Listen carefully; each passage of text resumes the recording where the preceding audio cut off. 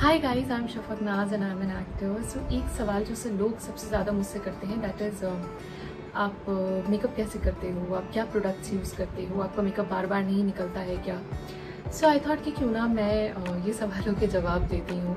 So as we all know कि makeup में सबसे ज़्यादा ज़रूरी होता है base so I believe that if your base is sorted, then you really don't have to think about your makeup. And the base I use is uh, Estee Lauder. And I have been using this for past 10 years now I guess. And I love this product. It's um, and I'll show you why I have been using this one. Um, so uh, I am wearing no makeup right now. So I'm gonna apply this base and show you so that you can see the difference. Uh, see firstly you really don't have to take a lot of it. Just this much is enough.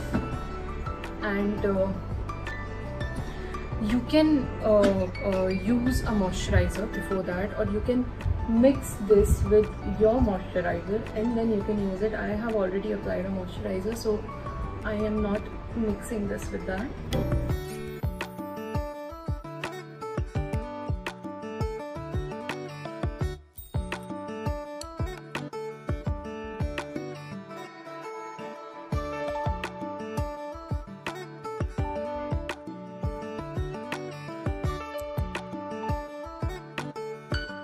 I am done.